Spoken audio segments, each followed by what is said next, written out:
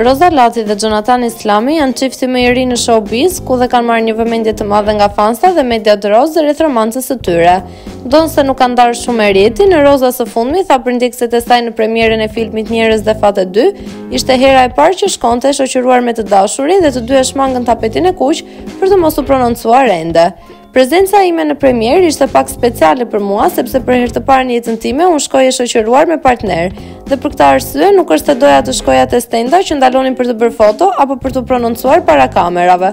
E shijova për dore me të dashurin tim dhe ishte kënaqësi për mua, u shpreh Roza. Megjithatë çifti nuk i ka shpëtuar kamerave dhe ja ku i kemi disa foto të tyre.